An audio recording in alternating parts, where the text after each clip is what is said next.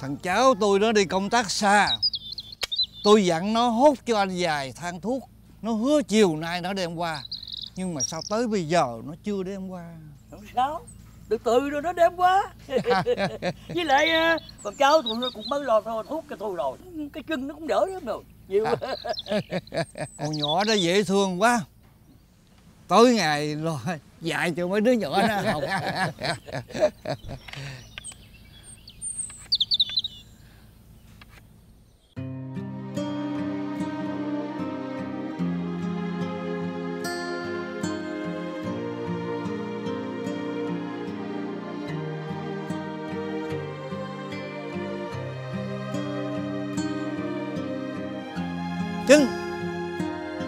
Lại đây con.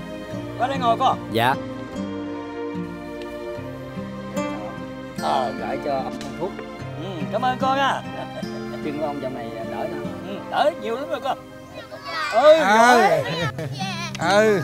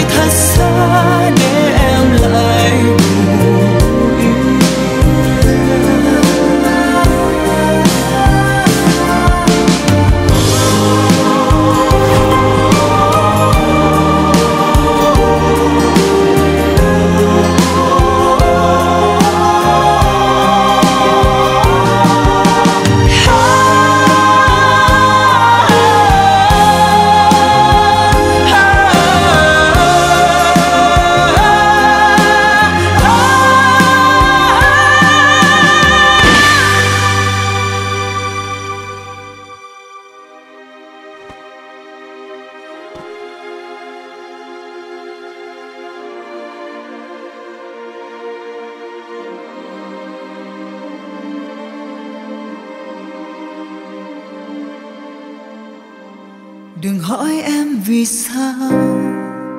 Đừng trách em vì sao.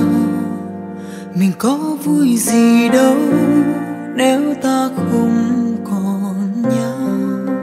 Đừng hỏi em vì sao. Hãy hỏi anh làm sao. Nếu có quay về, đến lúc nào anh lại Peace.